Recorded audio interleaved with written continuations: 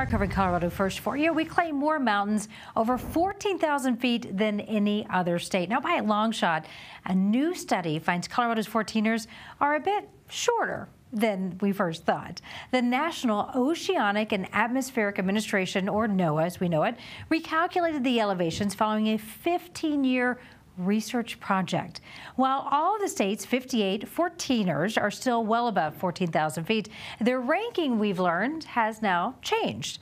CBS Colorado's Sean Boyd reports that the findings have wide implications that go far beyond these 14ers.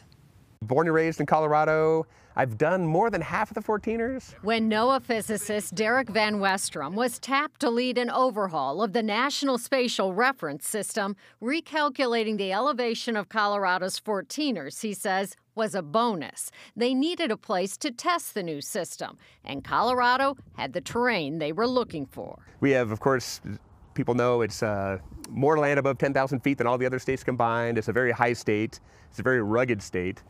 So if the system works here, we know that it'll work anywhere else in the U.S. Initial projections showed the shortest 14er, Sunshine Peak, might actually be a 13er. We are now confident that it's 14005. Making Sunshine six inches taller than Huron Peak, which is now the shortest summit. While the ranking from tallest to shortest changed for several peaks, Van Westrum says Colorado didn't lose or gain any 14ers.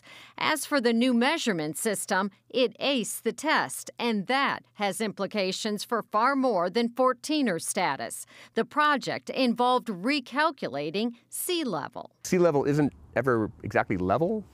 So if you can map out what that surface is, that's the new zero for all of the heights that we're going to do for the entire nation. As part of the new calculation, NOAA measured gravity across the entire United States. We would fly these grids uh, with basically six mile spacing.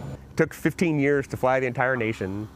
That tells us what the actual gravity is. Using that and sophisticated GPS, scientists say they can now calculate heights to within a couple inches anywhere in the U.S including Colorado's highest peaks. It's fun for the hikers. It's important for the rest of the nation, but it's, uh, you know, scientifically we can prove that, yep, the new system works and it's going to be useful for everybody.